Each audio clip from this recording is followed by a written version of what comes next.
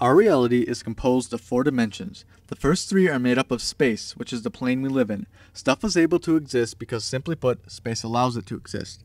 The first dimension of space can be represented by a line. If we only lived in one dimension, instead of growing up, we would just continue to grow outwards, either until we reached a point or continued on forever.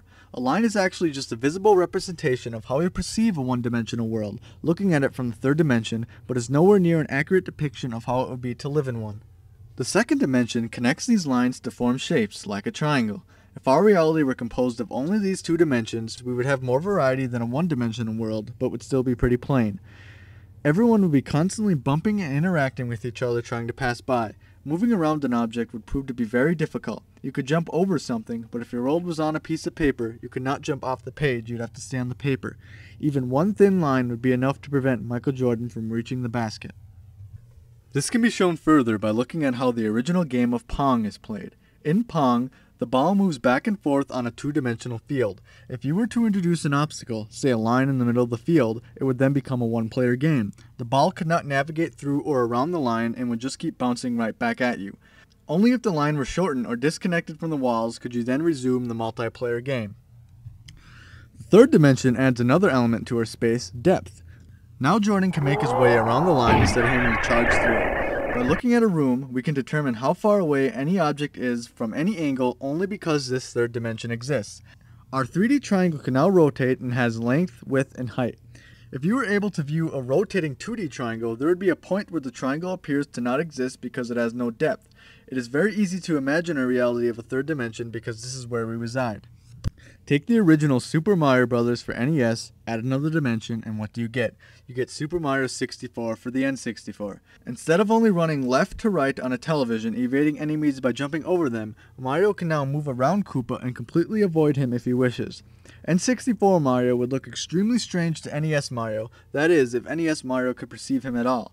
Life would be much easier for NES Mario, so it seems, if he could just step aside when the Goombas were heading for him. However, attempting such a feat would be fatal for NES Mario, who exists without the luxury of the third dimension. These first three dimensions that make up space are very easy to explain and comprehend. For the most part, they are basic and extremely juvenile when it comes to the fourth dimension, time. Time is probably not what you think it is. Time is not a second, minute, or hour. These are just labels we use to measure time. One hour is a measurement, a length of time, just as a ruler measures distance within the first three dimensions. If we take our triangle, you may say it has three sides, each 5 centimeters, but the measurement is not the object. In the same way, time is not the distance or how it is measured. Time is as the triangle is in space. Our labels for time are also not constant everywhere in the universe as Newton envisioned. Einstein proved that the faster an object moves, the slower its perception of time.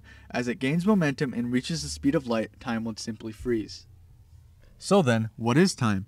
Time is what nature created so everything doesn't happen at once. Simply put, time allows us to understand space. Imagine if we lived in space with no time. What would happen? Our perception would change tremendously. Perhaps everything would happen at the same time, or maybe nothing would happen at all. Life could be an extremely chaotic landscape or as monotonous as a motionless drawing. Isaac Newton described time as an arrow or line that is constantly moving forward. In other words, it's like an archer shooting an arrow that stays in motion forever. However, this is not completely correct because it does not focus on how we experience time. In other words, time moving forward is just our perception. It is possible that time can move backwards, but that is certainly not the case in our reality. If that were so, instead of a yell causing an avalanche, an avalanche would cause a yell. People would rise from the dead, slowly growing younger into babies who then finally made their way back into the womb. Cause and effect as we perceive it would instead become effect and cause. The Archer example from Newton only scratches the surface of what time is. Most people represent time as a line with certain events shown as dots on this line. However, time is not the line. The line is simply the measurement, just like the centimeter. Time is the dot. Time is completely stagnant. This very moment is the only time for time. In other words, all we have is the present moment to experience and perceive our reality. The past and the future are simply illusions created by our time labels, which we need to function in society. Can you imagine trying to plan a get together without measuring time? Even if everyone knew the correct location, you'd have to hope that everyone somehow showed up at the correct moment. You'd be stood up for nearly every event. Events only occur in the now. Events never occur in the then, which is the past or future. You can plan or measure for events to happen in the future, but you can only experience them in the now or present moment. You can also think back to events that happened in the past, but you can never experience them again. Even if you were able to recreate a past event down to every last detail, it would still be a completely new and independent experience according to time, no matter how similar it felt to you. Now and then, Time is a dot on a line, and the line is measuring a distance. The dot is moving along the line as the years pass, but you are always in the dot. The only possible time you can ever perceive anything is right now, this very second. As far as we know, time always has been and always will be, right now, this very moment. Events occur in this present moment, and when you sit back and just observe time passing, it's almost as if time no longer exists. This is because you put away your tape measure and are no longer hurrying or rushing or paying attention to how many seconds are in between two points. You simply just reside in your one and only point and allow everything to be as it is. You're rid of your stresses and become fully conscious and aware. This is an extremely healthy and peaceful state of mind.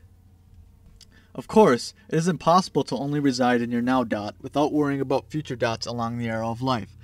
You should also take into consideration past dots that were experienced. However, just focusing on then dots and never taking the time to live in the now, which is the only time we actually experience anything, is a sad and insane way to live. You are never truly alive without experiencing time, our fourth dimension, as it occurs. Stop spending so much time measuring time and instead experience time. Life in our four dimensions truly is something to marvel at. The first three make up our space and movement, and the fourth allows us to comprehend it. Observing life happening instead of applying any labels is the easiest way to achieve peace. Allow everything to be as it is now. Allow